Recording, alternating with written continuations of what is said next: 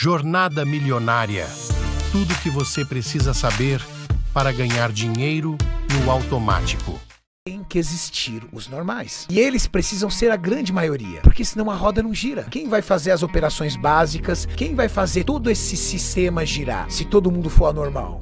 Muitas pessoas virem para mim às vezes e falam: "Renato, como você tem motivação para fazer tudo o que você faz todos os dias?" A palavra não é motivação. Motivação é um estado de espírito que leva você a tomar atitudes. Isso é motivação. Eu acordei hoje super animado, então eu vou fazer um cardio. Motivação é um estado de espírito que te faz tomar atitude. O seu estado de espírito é capaz de ser o mesmo todos os dias? Jamais. Então, se você busca motivação, você vai buscar sazonalidade. Um dia vai rolar, outro dia não vai rolar. O que, que te faz acordar todos os dias para ir trabalhar? Tuas contas. É. Ninguém vai pagar minhas contas. Então, as tuas contas te faz ser uma pessoa disciplinada. O teu trabalho é disciplinado. Com vontade de trabalhar sem vontade. Dormiu mal à noite ou dormiu bem. Acordou disposto ou não acordou disposto? Se você é um cara que o preza pelas tuas contas, 8 horas da manhã você tá chegando no teu trabalho e acabou. Isso é disciplina. Eu vivi a minha vida inteira ligado numa palavra chamada disciplina. Desde garoto. Meu Tá. pai fo- se aposentou muito cedo, e aí meu pai teve um monte de problemas financeiros por ter sido aposentado muito cedo. Minha mãe foi trabalhar de empregada doméstica e chegou um momento das nossas vidas que eu vi a minha família recebendo cesta básica de parente para sobreviver. Falei, peraí, eu preciso sair disso. Eu não quero isso pra mim. Eu quero uma vida diferente pra mim. Cada oportunidade que vier, eu vou ter que agir com absoluta disciplina e garra pra ir conquistando. Então, a vida me ensinou que disciplina é o que faz. Quem combate a disciplina é a procrastinação. Quem combate a disciplina é a preguiça. E aí você me fala, por que o Renato não acorda preguiçoso e eu acordo, por exemplo? Poxa, por quê? Porque o Renato todo dia acorda de manhã pra fazer o cardio dele, e depois do cardio ele vai fazer a refeição, e depois ele vai fazer tudo o que ele tem pra fazer. Porque eu sou uma pessoa ambiciosa, que também é uma palavra que muitas vezes é subjugada. Tem gente que acha que ambição é ruim, né? Não confundam ambição com ganância. A pessoa gananciosa, ela quer tudo pra ela e de preferência o dos outros. A pessoa ambiciosa, ela é uma pessoa que não mede esforços para buscar o seu objetivo. Ela não mede esforços. Então, ambição somado à disciplina é sucesso, cara. Agora, se você é uma pessoa pouco ambiciosa, se para você o que você ganha já é o suficiente, se você já trabalhando, você já tá feliz. Se o teu emprego não tá bom, mas você adora a máquina de café expresso ou os amigos que, que estão lá, então você não vai sair de lá, significa que você tem pouca ambição. Com pouca ambição, você se dá o direito a ser menos disciplinado. A vida é única. Viver é desenhar sem borracha. Quando você começa a sua vida de verdade, quando você é criança, você não tá vivendo. O seu jogo não começou. Mas quando você começa a ter responsabilidade sobre os seus atos, e essa responsabilidade começa a construir o seu destino, é como se alguém lhe desse uma caneta e um papel. Você começa a desenhar a tua vida. Só que você não tem borracha. E você vai ali, ó. Você vai errar? Claro que você vai errar. Só que a primeira desculpa do ser humano é: nossa, é errando que eu aprendo. Não, cara. Eu sou um cara especialista em tentar errar com o erro dos outros. Se você chegar pra mim e falar, eu entrei ali à esquerda e me assaltaram, eu não vou entrar à esquerda nunca. Eu vou entrar na próxima direita. Se for inteligente, né? Não, É. mas a maioria das pessoas vão entrar à esquerda e vão dizer assim: ah, assaltaram porque você é burro. Eu sou esperto, eu não vou assaltar. Então, eu aprendo com o erro dos outros, eu não preciso errar para aprender. Eu sou uma pessoa extremamente analítica. Por quê? Porque dentro desse desenho que você vai, e você vai errar, vai chegar um momento da tua vida, uma maturidade da tua vida, que você vai ter que confrontar esse desenho. E o desenho que você espera fazer da tua vida, todo mundo espera um desenho. Tem que ser harmonioso. Com 40 anos de idade, 45, sei lá, 50 anos de idade, quando você levantar esse seu desenho, você vai ter orgulho. Você vai olhar, vai mostrar para os seus amigos, seus filhos, seus familiares, e falar assim: ó, isso aqui eu desenhei. Ou você vai ter vergonha. Ou você vai se justificar. Ah, mas esse desenho aqui foi por culpa de Fulano, culpa do Ciclano. Ó, só ficou ruim assim porque na época Fulano me atrasou, meu sócio me roubou, minha mulher me abandonou. Meu amigo, são os erros que acontecem. Viver e desenhar sem borracha. E como é que eu desenho sem borracha a minha vida? Eu trabalho duro todo dia, eu sou extremamente disciplinado. Tudo que eu pegar pra fazer, eu vou fazer 100%, senão não pego. Eu não pego. Não? Eu sou um especialista em falar não. Sou um especialista em falar sim. Sim é fácil, eu falo não. E quando eu falo não é porque ou eu não vou dar conta, ou aquilo não me interessa, ou aquilo vai tomar muito meu tempo e o meu tempo é muito valioso. Quando eu desenho a minha vida, eu entendo que cada dia é um traço que eu dou. E cada dia um dia de sucesso. Eu não vivo lá pra frente, não faço metas longas. Minha mulher sabe, se ela tá assistindo ainda, ela sabe. Uma coisa que a gente às vezes se estressa, ela quer fazer uma meta, passou de um ano, não. Ah, vamos fazer isso daqui do... Não. Se você me perguntar o que eu vou fazer desse ano, eu já tenho planilhado. É assustador. Eu já tenho planilhado todas as ações profissionais que eu vou fazer esse ano. Mas ano que vem, eu não sei nem na onde eu vou morar, se bobear. Metas curtas te levam a resultados grandes. Metas longas te levam a muito sonho. Ah, eu só, eu só vivo de meta. Eu casei com 35 anos. Por que eu casei com 35 anos? Meu amigo, eu tava focado na minha carreira. Com 27 anos, ó, com 22 anos de idade, eu tava quebrado, fazendo faculdade, quebrado, cheio de cheque sem fundo. Com 27 anos, eu juntei meu primeiro milhão. Desculpa, 27 anos, nós estamos falando de 2005. 2005, um milhão em 2005 era dinheiro, tá? É a grana. Ah, e com 30 anos de idade, eu comprei 50% da fábrica que eu era funcionário, uma indústria farmacêutica. Que foda. Então, num gap de 22 aos 30, eu mudei o meu destino. Totalmente. Eu disse esses tempos, nós temos pessoas normais e anormais. A grande massa da população mundial são pessoas normais. E o que é uma pessoa normal? É aquela pessoa que vai nascer, arrumar um emprego legal, casar, ter filho, pagar uma casa, financiar uma casa, se a, viver da aposentadoria, criar os netos e morrer. Não tem nada de errado nisso. E é uma vida que cabe para muitas pessoas. Só que no meio daquela multidão de pessoas normais, de vez em quando surge um anormal. Que é esse anormal? Cara, ele quer ter uma vida épica ele vai criar uma empresa, abrir uma coisa, construir um legado, construir patrimônio, mudar a vida de pessoas, gerenciar pessoas, liderar os normais. Às vezes dentro de uma grande organização, ser um diretor, um CEO, um grande gerente para comandar os normais. Os normais querem chegar no trabalho às 8, querem ir embora às 17 horas. Quando dá sexta-feira, eles comemoram que é sexta-feira, que vão curtir o final de semana. E quando chega segunda-feira, eles. Ai, mais uma semana chegando. Cara, estatístico, a grande maioria. Os anormais. Para eles, não existe o horário de entrar ou horário de sair do trabalho. Por quê? Porque ele não está trabalhando para o cara, ele está trabalhando para ele mesmo. Mesmo sendo seu funcionário, ele é uma empresa. O que ele faz, você tem que reconhecer. Você é o cliente dele, você paga ele com salário. E amanhã, se você não conseguir reconhecer esse cara, ele é tão poderoso nas atitudes que ele vai pro teu concorrente. É e isso. ele vai te ferrar, velho. Quando Que você vai perder um baita de um cara.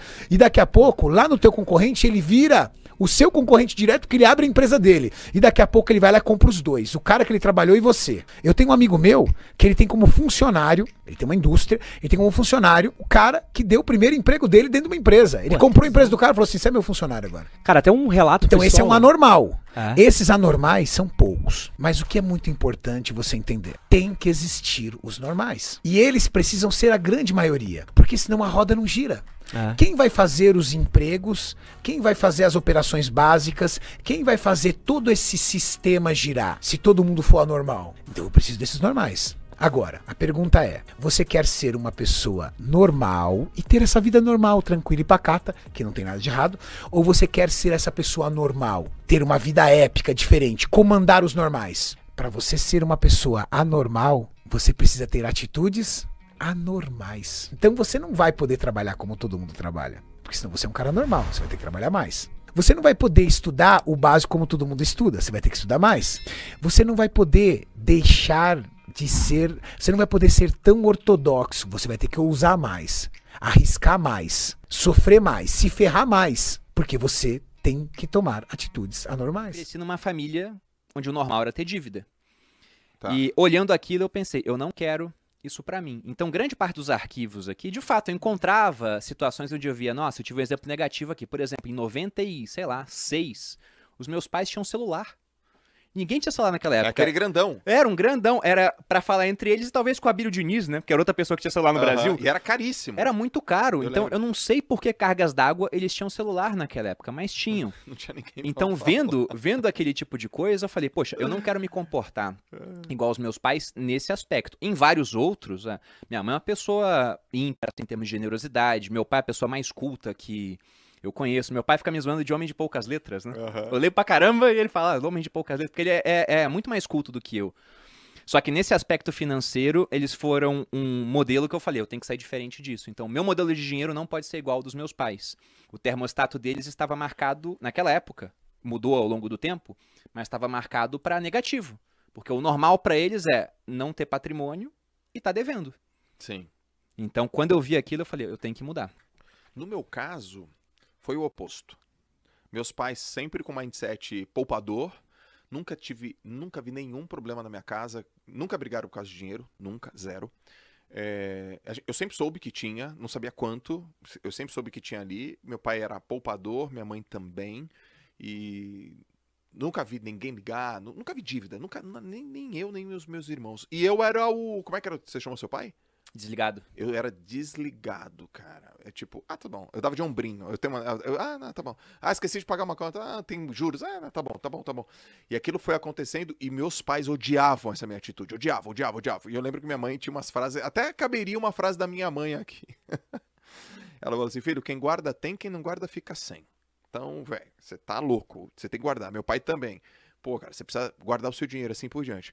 No meu caso, foi, foi- o que mais me incomodou no mindset, é, que não foi o mindset dos meus pais, que era o meu mindset, é que eu era aquele cara que o dinheiro entrava. Eu nunca fui um cara que ganhei pouco, mas eu não via. Ele escoava. Você nem sabia pra onde. Cara, eu não sabia.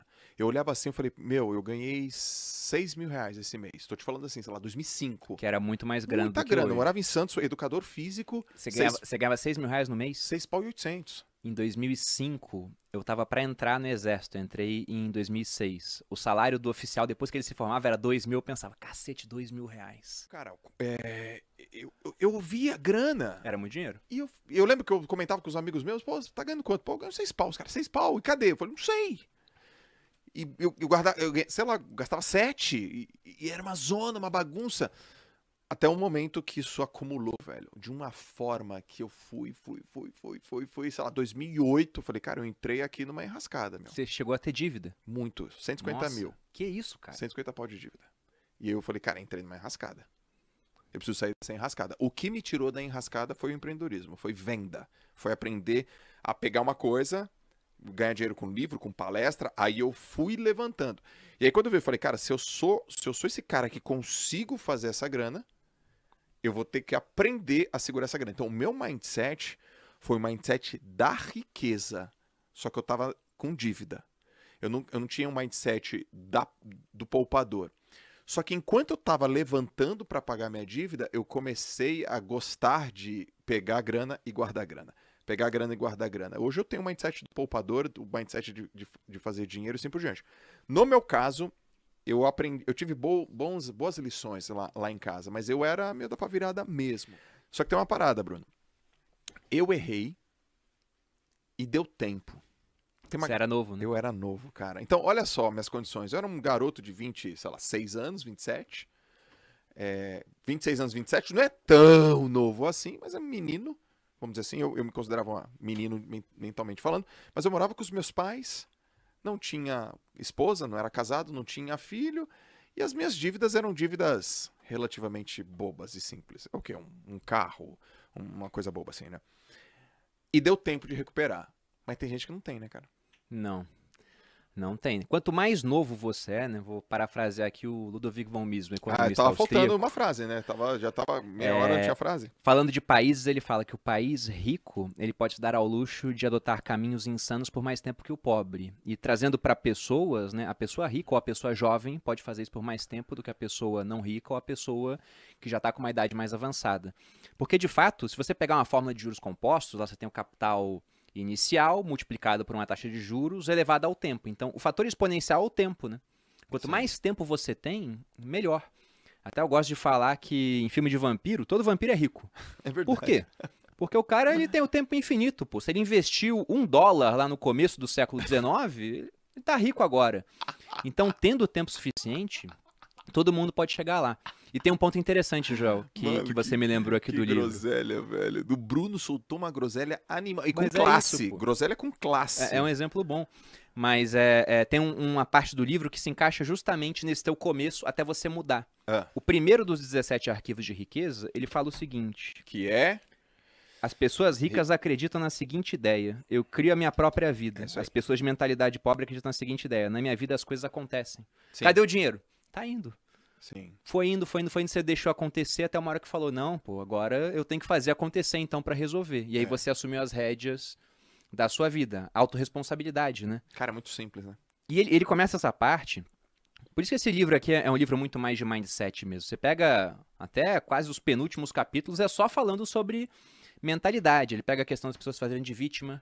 Uhum. Você podia ter se feito de vítima. Não, gastei demais, não foi culpa minha, né? Você Sim. gastou, comprou carro lá, não sei o quê. Não, mas Sim. veja bem, né? dívida ela começou a usar a rede social falando de alimentação, de estilo de vida.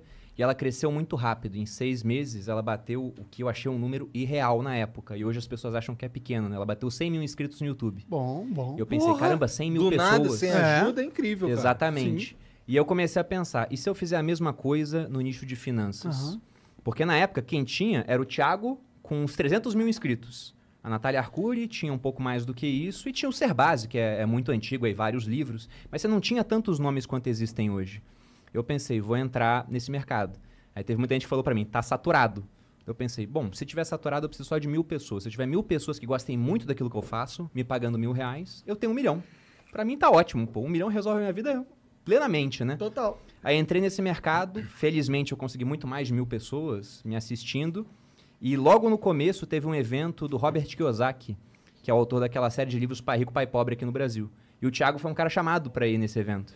Eu esbarrei com ele lá, fui cumprimentar o Thiago pelo trabalho dele, tirei uma foto com ele. Na época ele conseguia andar no evento sem ser parado a, a cada momento, né? Ele já estava famoso, mas ele era famoso num nicho muito específico de pessoas. E aí, quando eu postei a foto no Instagram, ele viu que eu tinha um perfil, começou a me seguir, a gente começou a trocar umas ideias. E aí nasceu uma parceria que durou quatro anos até virar uma sociedade. Eu com o Joel foi basicamente a mesma coisa. A gente foi ficando amigo e estamos aqui, né? Tamo aqui, Mas o cara. Pedro tem uma coisa legal, a parte da história dele que ele não, não contou agora, que ele foi do exército há muito tempo, cara. Eu fui 11 anos do É exército. mesmo? É. Eu era paraquedista, eu era primeiro de turma na Academia Militar das Agulhas Negras. E, cara, tem umas Ih, histórias que eu descobri só depois. O cara oficial do exército. Eu era. Número um, número um. É. Número um, cara. Eu fui o primeiro. da minha turma. É? Tanto que quando eu, eu tava pra ir embora do exército, é, até o meu avô, pro meu avô ia ser general. Ele falou, você não vai ser general? Eu falei, não vou ser general, vou- embora. E foi a melhor coisa que eu fiz na minha vida, né? Porque a internet, em apenas cinco anos, foi em 2017, na verdade quatro anos, é, mudou demais. Pô, como é que era? demais. Como é que era receber ordem de gente burra, cara? Cara, eu vou te, eu vou te falar o Caralho. seguinte. Lógico que Não, tinha é porque pessoas... Eu fiz isso. Eu, fiz, eu recebi foi- ordem de gente burra. Você- você foi- só que eu fui Só não foi recrutado. agulha é. negras, né? Eu só não estudei pra caralho pra passar. Eu nem fiz essa prova. Algumas das pessoas mais inteligentes que eu conheço são caras que estão no exército e vão ficar lá a carreira toda. É mesmo. Sim, você pega, por exemplo, o meu comandante na Academia Militar das Agulhas Negras foi comandante do Exército há pouco tempo, o General Leal Pujol. Ele foi primeiro em tudo que ele fez. Ele foi primeiro na AMAN, ele foi primeiro depois no curso de capitães, foi primeiro no curso dos coronéis, chamado Escola de Estado Maior. Foi primeiro em tudo, então ele foi primeiro de ponta a ponta. Foda. É, é o Lewis Hamilton, do- da academia militar, assim, da, da formação militar. Então lá eu conheci pessoas brilhantes, só que eram caras que usavam a inteligência deles para aquilo, para a vida do funcionalismo público, né? E eu não sou mais inteligente que esses caras, mas acho que eu fui mais esperto, porque eu pensei, onde que eu posso botar o meu foco de maneira a ter o maior resultado possível? E é no mercado financeiro. As recompensas do mercado financeiro são tão grandes que vale a pena, mesmo não sendo uma dessas cabeças brilhantes, se posicionar nesse mercado. Porque se você pegar uma migalha desse mercado, você tá rico. Então foi o meu foco. Eu falei, tenho que ir para o mercado financeiro. E a janela que eu vi para isso foi redes sociais. Eu vi as blogueiras fazendo stories esgotando produtos. Eu pensei, não tem ninguém fazendo stories no Instagram falando de finanças ainda. Mas por que, que tio, tu tinha tesão em mercado financeiro, assim, mesmo sendo militar Tinha e algum tal? background? O que antes? aconteceu? Eu comecei a investir quando eu tinha 17 anos. Com 17 anos eu ganhei meu primeiro salário. E a minha família, é uma família de classe média, nunca me faltou nada, mas eles sempre tiveram muito problema com dívida. Os meus pais, inclusive, se separaram. Parte do problema, com certeza, veio do, do dinheiro. Aham. Então eu vi aquilo acontecendo, né? Nada faltava, mas não sobrava nada. Eu não tinha dinheiro para levar uma garota no cinema, por exemplo. Eu falei, eu não quero viver isso, então eu fiz o concurso público para sair de casa o mais cedo possível. Saí com 17. Com o meu primeiro salário de 400 reais, eu pensei, vou investir. Até porque era uma época onde todo mundo estava investindo em bolsa, mais ou menos parecido com agora. Dentro daquela realidade daquela época, com menos informação disponível. Era 2006, você comprava ações da empresa de salsicha do tio Ted, o negócio dobrava no outro ano. Então, eu investi 100 reais naquele ano em um fundo de investimento e dois meses depois eu tinha 140. Que em termos absolutos é pouca coisa, 40 reais, só que era 40% de rendimento. Então, depois que isso aconteceu, lógico que subiu, caiu, mas aquilo virou a chave na minha cabeça. Eu pensei, eu tenho que descobrir como é que funciona melhor esse mercado. E fui fazendo isso até o ponto que eu já tinha um patrimônio cujos rendimentos eram maiores do que aquilo que eu ganhava como militar. Então, nesse ponto, eu falei, agora eu já posso sair da minha carreira, começar uma outra carreira. Inicialmente, eu pensei em ser o bastidor da minha esposa e tentar o mercado financeiro. E aí acabou que eu saí do bastidor dela porque o mercado financeiro explodiu tanto, né? graças aí a, a trabalho feito pelo Thiago, a Natália, outras pessoas muito grandes, mas a bolsa subindo também, foi uma mudança, era o fim do governo Dilma, o começo do Temer, a bolsa começou a decolar. Bitcoin saiu de 2 mil reais para 70 mil. Aquilo mudou de patamar assim as minhas finanças e, como eu estava mostrando isso acontecendo em rede social, também consegui uma boa audiência com isso. Tu já tinha Bitcoin nessa época aí? Eu comecei a juntar Bitcoin em 2014. Porra, começou De bem. graça na internet. De graça? De graça. Tinha nos sites que dava Bitcoin se você clicasse nos anúncios. Exatamente. Entendi. E aí, inclusive, foi interessante Caralho, isso. cara. Porque eu escrevi um artigo mostrando nove sites que davam Bitcoin de graça. Hoje a maioria não existe. Tem um outro que ainda existe. E você ganhava essa recompensa e na época o Bitcoin não valia nem 500 reais. Então eu tava juntando Bitcoins nessa época, eu mostrei para amigo meu do quartel, né? Pro Diogo, né? Até hoje a gente, a gente conversa. Falei, Diogo, tô juntando Bitcoin dele. Aquela moeda de terrorista, né? Eu falei, é essa daí mesmo. E aí, quando eu mostrei quanto eu tinha, eu tinha uns 6 dólares. Ele falou, porra, tu tem 6 dólares em Bitcoin? Né? Começou a rir da minha cara. Só que aquilo que era muito pouco foi crescendo, eu fui ganhando mais, o valor foi aumentando. E só com esses sites, sem gastar um real, eu juntei 9 Bitcoins na época. Caralho! E graças a isso, hoje eu tô bilionário. Mentira, essa parte não é mentira. Mas eu, eu não fui vendendo no topo, né? Eu fui vendendo aos poucos. Então vendi a 7 mil, a 15 mil, a 20 mil, a 58 mil, lá em 2017. Aí bateu 70, caiu, depois eu fui comprando de volta. Mas até hoje eu tenho essa convicção. Veio uma corretora de valores, bateu na minha porta, mandou um e-mail. Eu vi ali uma oportunidade, fiz um plano de comercial que eu nunca tinha feito na vida. Falei, não, mas eu vou fazer de conta que eu sei fazer um plano comercial e vai dar certo. E aí fiz lá a proposta, eles aceitaram, fechei um contratinho de um ano. Falei, ufa, agora eu tenho um ano pra fazer essa merda dar certo e fazer esse negócio decolar. A galera ficou louca, acharam que eu tinha ficado maluca. Imagina, pedindo demissão, uma TV com cargo, ganhando bem, salário e tudo mais. Mas eu tava tão infeliz. E outra, pra mim, poder mudar a vida das pessoas, aconteceu algo muito fatídico que eu conto no livro também. Eu me separei em 2014. E naquela mesma semana eu tava fazendo uma reportagem sobre violência doméstica. E eu descobri que a maioria das mulheres que acaba se submetendo a esses relacionamentos, isso acontece por causa da dependência financeira. E naquela época, naquele mesmo, né, foi naquela mesma semana que a gente se separou, o meu ex chegou e falou: "Ah, vamos vender o apartamento que a gente tinha comprado juntos à vista. Vamos vender e cada um fica com a sua parte". Deus que me livre, tipo, aquele apartamento era minha liberdade, era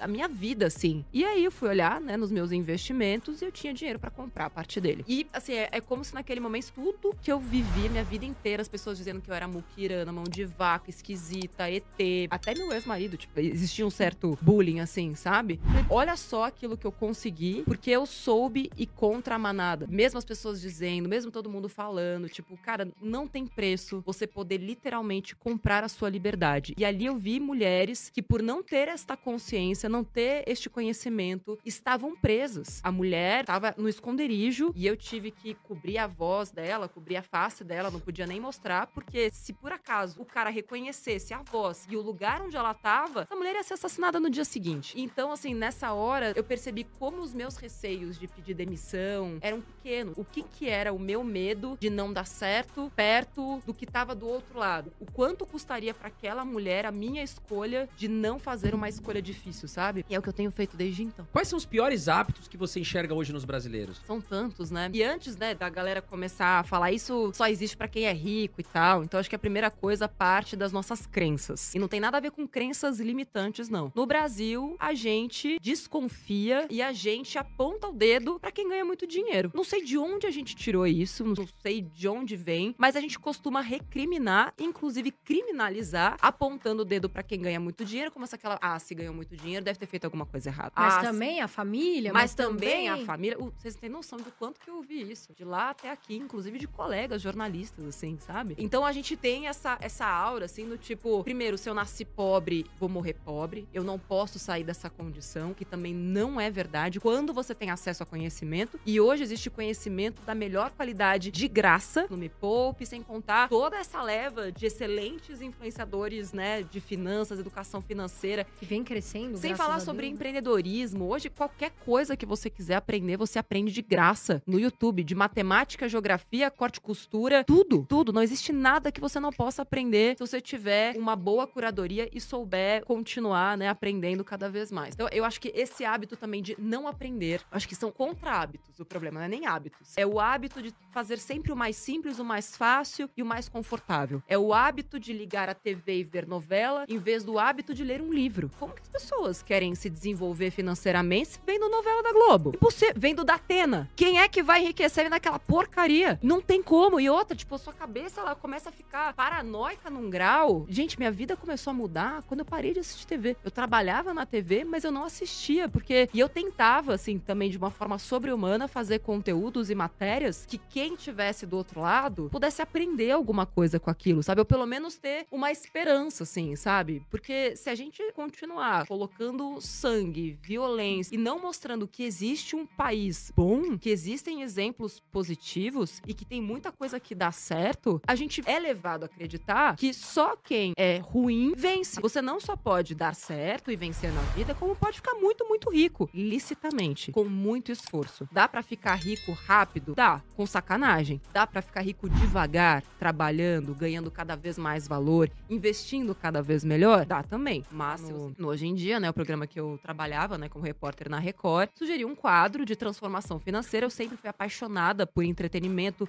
por realities de transformação. Falei, por que não fazer um reality de transformação para as pessoas? Pegar gente endividada, transformar essas pessoas em investidoras em quatro semanas, um negócio bem uau, assim. E foi aí que tudo começou, porque, né, o diretor do programa falou: olha, Nath, sua ideia é tão boa, tão boa, que o apresentador vai fazer. Eu acho que esse foi um momento chave, assim, sabe? Que foram esses dois nãos que me forjaram, assim. Eu escolhi não ter ódio, não ter ranço. Todo mundo fala, ai, hoje esse chefe. Falei, gente, eu não penso sobre isso, porque não é sobre você se vingar e sobre aquele que te puxou o tapete. Não, tipo, é sua escolha. Eu decidi ser a maior influenciadora de finanças do Brasil naquele momento, porque ele falou pra mim. Eu perguntei, por que eu não? Ele falou, porque você não é uma especialista. E o outro é. Tipo, você é só uma repórter. Mas naquele momento que ele me deu o argumento, ele também me deu uma chave. Eu falei, ah, então eu preciso de um carimbo? Então eu vou virar a maior especialista em finanças do Brasil. E aí eu comecei a estudar. Ganhei prêmio nacional de planejamento financeiro lá pelo IBCPF, que hoje é Instituto Planejar. Comecei a estudar economia comportamental e prêmio, prêmio, prêmio, prêmio. Mas eu continuei lá, porque isso foi 2012. Eu fiquei Tá. três anos tentando fazer esse projeto dar certo lá dentro. E era sempre tipo, ah, isso não é importante. E as pessoas na TV falam assim, né? Tipo, o seu projeto não é importante. Vai lá cobrir Tal, aquela né? matéria lá, nada a ver. E eu criei um projeto paralelo. Então, eu usei aquilo que eu tinha mandado, coloquei o projeto na Biblioteca Nacional, comecei a bater em todas as portas de produtoras, de emissoras, de TV a cabo, TV aberta, TV do interior, rádio, pequeno, médio, grande. Não, não, não, não, não. Três anos de portas batendo na minha cara. Quando eu achava que tava perto, não, não vai. Aquela coisa começa a esfriar, a pessoa começa, tipo, a, sabe, ser mais evasiva. E aí eu falei, quer saber? Eu vou criar meu blog. Aí primeiro cri- criei um blog. Peguei o nome do projeto lá, que eu tinha colocado, né, do, do programa Me Poupe. Me Poupe era o projeto do programa, do reality que eu tinha criado. Não era pra ser a empresa. Falei, ah, mas esse nome é bom, né? Tipo, eu que tinha criado tal. Vou dar o nome desse blog de, de Me Poupe. Isso foi, acho, fevereiro de 2015. Quando foi junho, falei, quer saber, esse negócio de YouTube tá bombando. Tinha Kéfera, Felipe Neto, e etc, tal. Canais com um milhão de pessoas. O maior canal de finanças é, da época tinha 40 mil inscritos. Falei, então eu vou fazer um canal do YouTube pra mostrar pro meu chefe da TV que eu sou capaz de fazer isso que eu tô querendo fazer. Foi por isso que eu fiz o canal do YouTube. Não era pra ser o maior canal de finanças do mundo, era pra provar pra ele, porque assim, provando pra ele, eu ia conseguir ter o meu espaço na TV que eu queria. Também não deu certo. E aí, quando foi dezembro de 2015,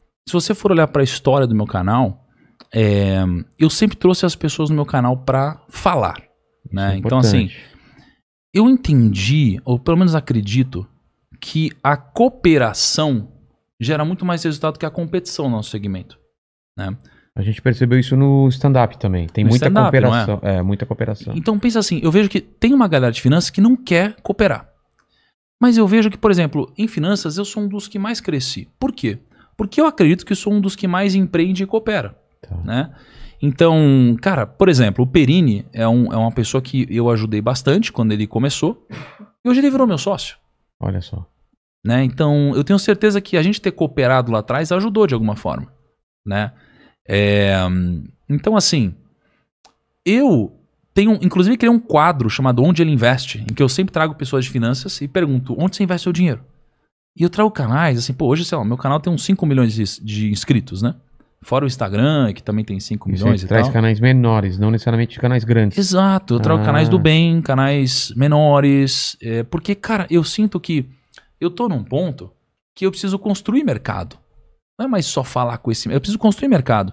E se a pessoa for do bem e boa, caraca, eu quero trazer pra pra ajudar. Porque eu sei que se eu ajudar essa pessoa, ela vai trazer mais mercado e a gente vai criar um movimento muito legal. Né? Então, assim, a gente comprou participação no outro canal de finanças, por exemplo. Né? É, então, assim, a gente já fez muita coisa bacana. Então, o que eu acredito é, cara, a gente precisa cooperar. Quanto mais a gente cooperar, mais o ecossistema ganha. E tem uma frase que eu gosto de dizer que é assim: não queira competir comigo, cara. Porque eu também quero que você ganhe. Então, assim, eu não acho que pra eu ganhar você precisa perder, e nem o contrário, entendeu?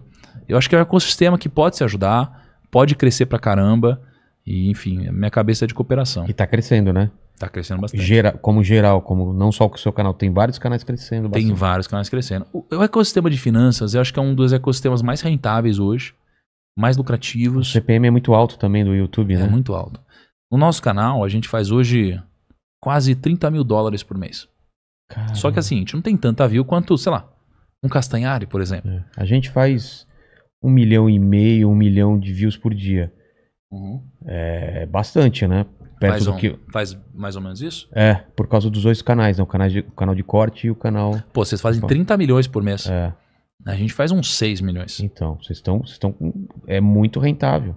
Muito rentável. É, é bem rentável. Como que as pessoas querem se desenvolver financeiramente vendo novela da Globo? Vendo da Atena? Quem é que vai enriquecer naquela porcaria? Não tem como. Eu sempre poupei dinheiro, desde criança. Eu tinha 7, 8 anos de idade, década de 90, comecinho de 90, 91, 92, auge da inflação, quase 2 mil por cento de inflação ao ano. E cheguei pros meus pais, falei, e aí, eu tenho uma poupança pra comprar um carro? Porque tinha uma menina da escola que disse que tinha, sabe? Tipo, toda escola tinha aquela que era um pouco mais rica, assim. A gente foi- era classe média. Tipo, não faltava nada, mas não sobrava absolutamente nada. Era viver hoje e amanhã vamos ver o que, que vai dar. Inclusive, nesse auge da inflação. Meus pais falaram, meu, cresce e aparece, meu, tem nada pra você aqui. E aí aquilo ficou na minha cabeça. Eu comecei a guardar dinheiro com 7, 8 anos de idade. Então, eu transformei aquilo num hábito. Pô, se, se eu não tenho a grana pro carro, então o carro virou minha meta. E aí, tinha o dinheiro pra comprar o carro. 18 anos, já criei uma outra meta, que era comprar um apartamento com 23, 24, quando saísse da faculdade. E, e aí, ali, eu já tava fazendo, né, meus investimentos. Comecei a investir com 18. Inclusive, na academia que eu frequentava, tinha um rapaz lá que começou a falar pra mim sobre clubes de investimento. E eu falava, sério? Porque eu comecei a investir com 18, mas em previdência. E logo depois que ele falou dessa coisa dos clubes de investimento, que o dinheiro multiplicava mais depressa e tal, eu fui- comecei a estudar. E aí coloquei, tipo, todo o dinheiro que eu tinha num fundo, que não era esse clube, era outro, porque esse clube tava fechado. Botei todo o meu dinheiro num fundo, me achando tal. Um ano depois, eu tinha metade de todo o dinheiro que eu, que eu tinha colocado. E assim começou a minha vida com os investimentos. Só que era algo que eu fazia pra mim por prazer, porque eu sabia aquilo que eu queria. Nunca me faltou dinheiro. Mesmo começando igual um monte de gente, eu sempre tive mais dinheiro